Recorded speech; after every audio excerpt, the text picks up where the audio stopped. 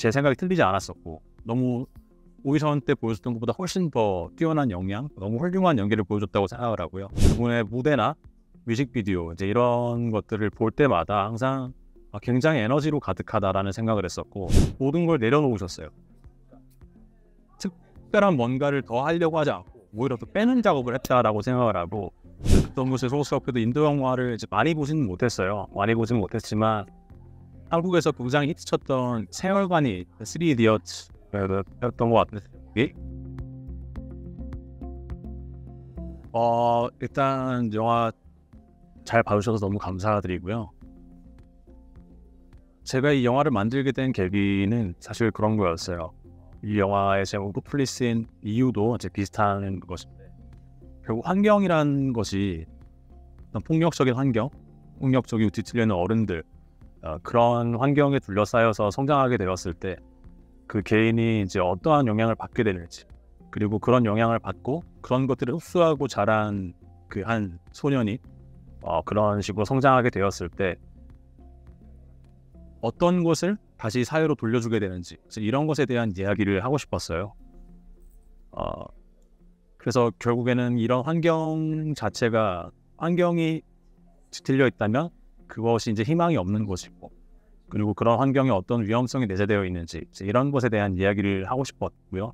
그럼에도 불구하고 그런 것을 이제 딛고 내가 일어났을 때 또 뒤에는 무엇이 남아 있는지 그래도 더 나은 삶이 있지 않을까 이런 것들에 대해서 이야기를 하고 싶었습니다.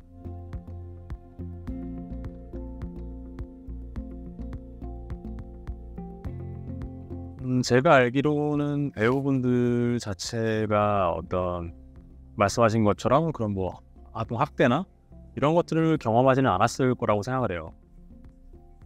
다만 이제 우리 배우님들 그리고 저 또한 이야기를 쓸 때 그렇고 우리가 이제 상상력이라는 것을 가지고 있고 우리가 어떤 현상을 목격했을 때 연민이나 어떤 공감을 할 수 있는 능력이 있기 때문에 그들 그분들께서 직접 이제 그런 일들이 겪진 않았더라도 주위에서 그런 일들이 벌어지는 것들은 직간접적으로 목격을 했을 것이고 또 느낀 바가 있을 거라고 생각을 해요. 이제 그런 체험들, 어, 그런 간접적인 경험들이 이제 이 이야기 속 그리고 이분들이 이제 연기를 하실 때 그런 어떤 것들이 너, 녹아들어 있지 않을까라고 이제 저는 생각을 하고요. 그리고 이런 것들을 어떻게 표현할지에 대해서 배우님들과 굉장히 이제 상의를 많이 했기 때문에 어, 가능했던 일인 것 같고 또 워낙 훌륭한 배우님들이라서 어, 이런 것들이 가능했던 것 같습니다.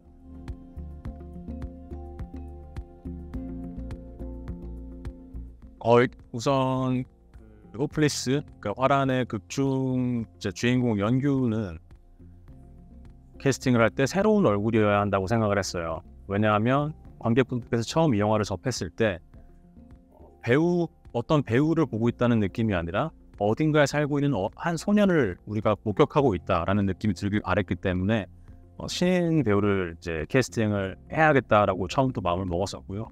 그러던 와중에 이제 홍서민 배우를 오디션을 통해서 만나게 됐어요. 만나서 이제 같이 리딩을 할 때 정말 이 배우님께서 저를 압도했거든요. 굉장히 힘주지 않고 어떤 뭐 크게 소리를 치지 않는데도 불구하고 잔잔하게 그 자기가 가진 어떤 그 에너지로 공간 전체 전체를 굉장히 좀 감싸고 있다라는 그런 느낌을 받았었고 그리고 그 어떤 표현의 스펙트럼이 굉장히 넓다라고 이제 느꼈기 때문에 아 이분이 어쩌면 연구일 수 있겠다라는 그때 이제 확신, 확신을 했던 것 같아요. 그래서 함께 이제 작업을 해야겠다라는 마음을 먹었었고 그리고 제 생각이 틀리지 않았었고 너무 오디션 때 보여줬던 것보다 훨씬 더 뛰어난 역량, 너무 훌륭한 연기를 보여줬다고 생각을 하고요. 비비, 그러니까 형서 배우 같은 경우에는 이렇게 배우로서 만나기 이전부터 아티스트로서, 그러니까 가수로서 그리고 작곡가로서 이제 익히 알고 있었는데 그분의 무대나 뮤직비디오 이제 이런 것들을 볼 때마다 항상 굉장히 에너지로 가득하다라는 생각을 했었고 아, 이분은 배우를 해도 정말 좋을 것 같다라는 생각을 개인적으로 하고 있었어요. 그러던 와중에 지금 이제 이 하얀이란 극 중의 인물과 이 BBC가 원래 가지고 있던 그런 강한 에너지 이런 것들이 만났을 때 굉장히 좋은 시너지가 있을 수 있겠다라고 생각해서 어, 미팅을 하게 됐었고요. 저는 오디션을 이제 봤을 때도 어, 굉장히 이제 특히 슛을 들어갔을 때 캐스팅을 한 이후에 촬영이 들어갔을 때 정말 날것 그대로 아주 생생한 그런 느낌의 연기를 보여주셨다고 생각을 하고 어, 굉장히 천부적인 재능을 가지고 있는 배우가 아닌가 그런 생각을 하고 있습니다.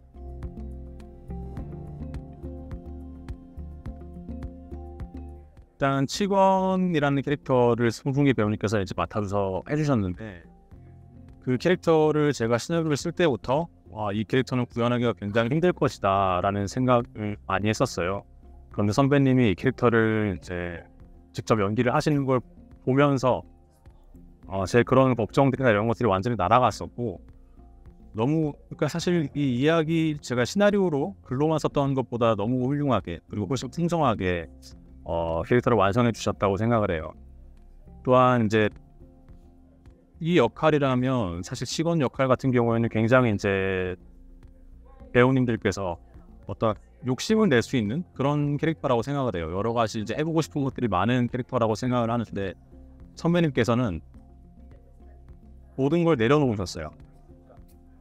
특별한 뭔가를 더 하려고 하지 않고 오히려 또 빼는 작업을 했다라고 생각을 하고 그 부분이 이 직원이라는 캐릭터를 특별하게 만들었고 선배님께서 정말 특별하게 이것을 구현한 한 방식이 아니었나 그렇게 생각하고 있습니다. 네.